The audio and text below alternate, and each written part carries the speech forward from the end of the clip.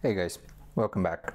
We have magazine number 51 and we have the mechanism, the other part of the mechanism for bending the knee, which is not working on the other one. And I'm assuming it's not going to work on this one as well. Still no answer from uh, De Agostini.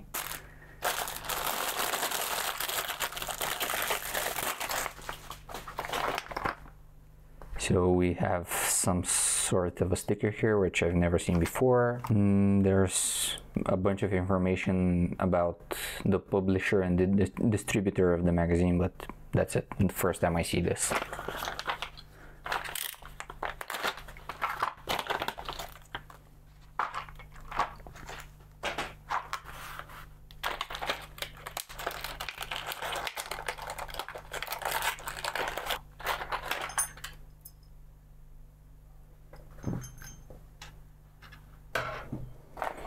Again, this bullshit with the double side tape where I don't provide it. It's not pre-cut or anything and I have to cut my own and it's very tedious to cut small pieces and peel, uh, peel the cover off and so on. I'll do it, I'll fast forward through it because it's painful.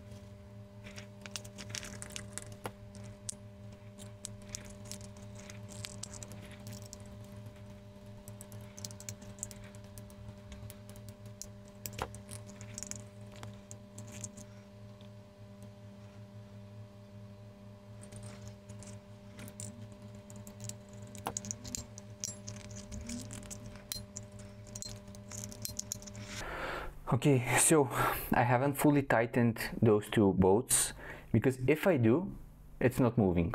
And see the gap that's left here. If I fully tighten that, you can no longer move the joints. Now, if with enough force, I can move them, but keep in mind, I need to use both my hands and pull really hard, really hard. And I don't need, and I do not have to tighten those. Uh, I'll try it on the one, but I don't think that's a solution. I think I'm doing everything correctly. And this shouldn't be the case because that gap should not be here in order for these to move. Nah, now it's not moving. Oh, it just moved. Now it's not moving and now it moved. I mean you can see on camera the amount of force i have to put on these parts. And if i do this regularly i don't think they're going to uh, sustain uh, that force. They're, they're going to break eventually.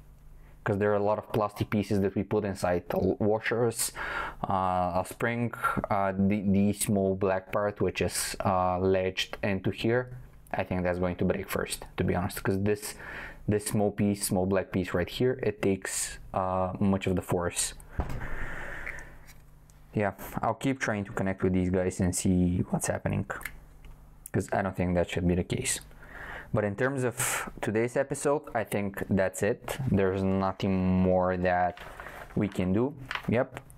now we just wait more parts that uh, we can bolt onto here and onto here thank you for watching guys and I'll see you in the next one